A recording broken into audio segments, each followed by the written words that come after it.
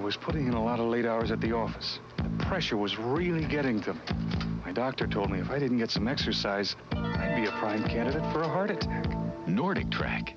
I had a terrible time losing weight after my second baby, and dieting wasn't enough. Nordic Track.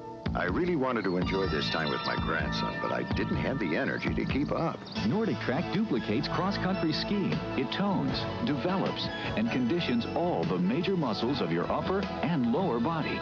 Independent research shows users prefer Nordic Track more than six to one over exercise bikes and rowing machines. So it's a great way to get in shape, manage stress, and help control weight.